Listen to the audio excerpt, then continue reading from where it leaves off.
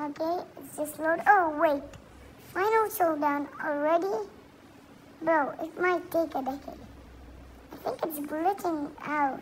2 out of 16. Wait, match starts in 3, 2, 1. Let's go down. Wait, what did just happen? How is this even humanly possible? It was like just 10 seconds. Subscribe so it doesn't glitch out again.